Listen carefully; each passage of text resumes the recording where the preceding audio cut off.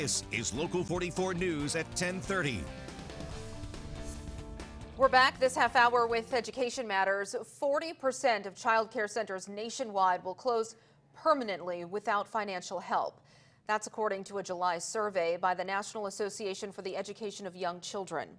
Tonight, Local 44's Mike Hoey looks at the picture in New York's North Country. There are more than four times as many kids 12 and under in Clinton, Essex, and Franklin counties as there are slots for them in regulated child care programs. That's according to the Child Care Coordination Council of the North Country. And that was part of a report from last November, so the problem predates COVID. Breaking even in this field is a very good year. You have to keep your costs as low as possible, and meanwhile, you cannot raise your tuition more than a half to 1% annually to accommodate the needs of families because care is very unaffordable for many. Rose Blanchard of the Lill School of the Adirondacks in Saranac Lake says COVID has added to the pre existing problem.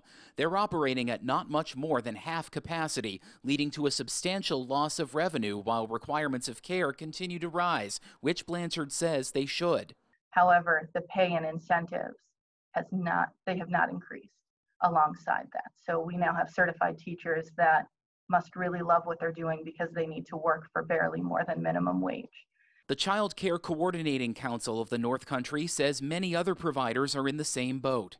Our programs are, are really suffering and they might not be able to sustain operations if we aren't able to invest in this field. Sarah Allen Taylor says many parents simply can't work outside the home without it. While it's great to say that we're supportive, we really need the action to be invested behind those words to, to get this funding into the hands of programs and um, to parents so that we can get the economy really back full steam the way it should be. They want federal CARES Act stimulus money to go directly to child care providers. They're also asking for $1.5 million from the New York state budget to help working families in Clinton, Essex, and Franklin counties afford child care.